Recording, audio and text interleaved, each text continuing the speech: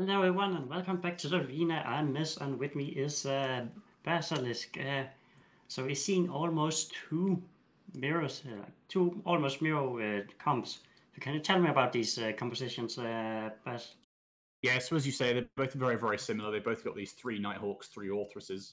Um, they've chosen for different logis. Tuskers have gone for the Scimitar, while Revolution have gone for the Basilisk. But in the low end is the difference is Revolution opting for three Garmurs um, whereas Tusk is opting for a Vigil and two Skybreakers. But if I'm Revolution here, as they were saying on the desk, I'm very, very concerned here because Tusk is obviously a very, very, very high skilled team. And if you're in a nearly identical comp, um, it, it possibly doesn't bode well.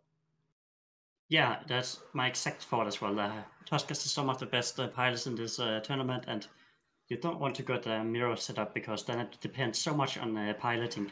Like the only difference is the choice of the logiships ships and the choice of the frigate wing.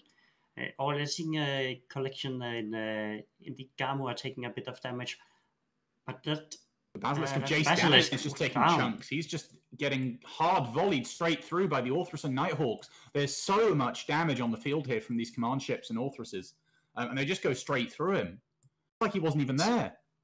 So I think like this is something they're not really aware of is the chasing uh, missile effect. So as you are chasing someone and they're shooting missiles at you, due to the travel time of the missiles, you're effectively uh, extending their range. So even though some of these ships might not be in uh, missile range for the Basilisk, the fact that the Basilisk is burning into the missiles just meant that got so many missiles just hammering down, and uh, now that's offers going down.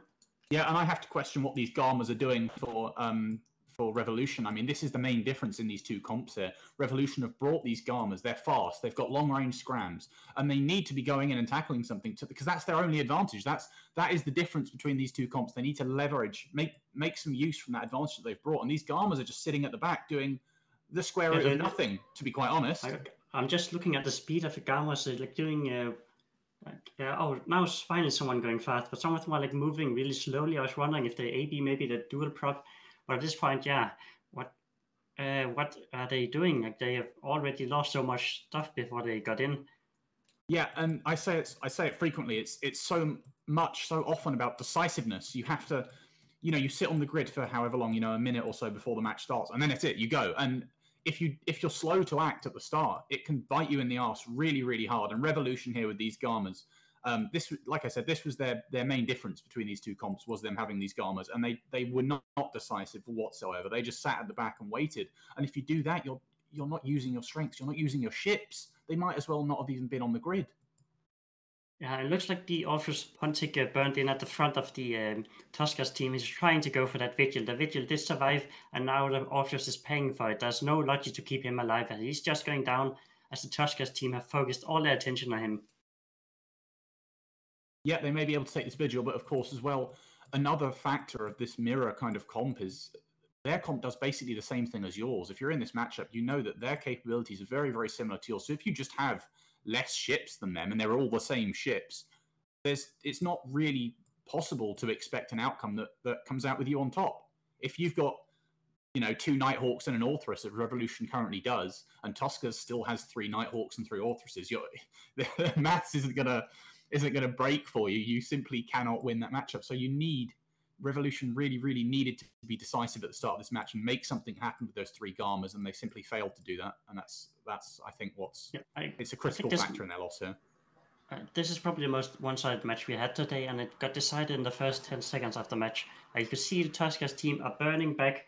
They're there waiting for a good opportunity, while the um, Revolution team are just burning straight at them, and they're really giving Tuskers the big advantage by doing that since there's someone who's going to be in the front that they can shoot, and they are going to abuse the missile effect, and you are going to have a hard time shooting back because now the missiles have to chase their targets instead of the target coming towards them. And like as, you saw, it cost them the basilisk just going right away. And uh, as also as you mentioned, like these Garmurs, like they didn't make much of a play. They're the last ships to die. Uh, that's not how you're supposed to be when you're uh, tackle ships in a really like offensive uh, setup like this. And the match is already over. Good, good job to Tuskers and uh, sending back to the studio.